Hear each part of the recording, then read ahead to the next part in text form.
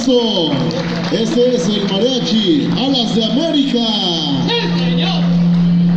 Bueno, los que estén buscando los sanitarios para los caballeros me dicen que en la planta alta, si les hace muy, a lo mejor muy lejos, en el recibidor, ahí a un costado de la galería, ahí están los sanitarios para los caballeros.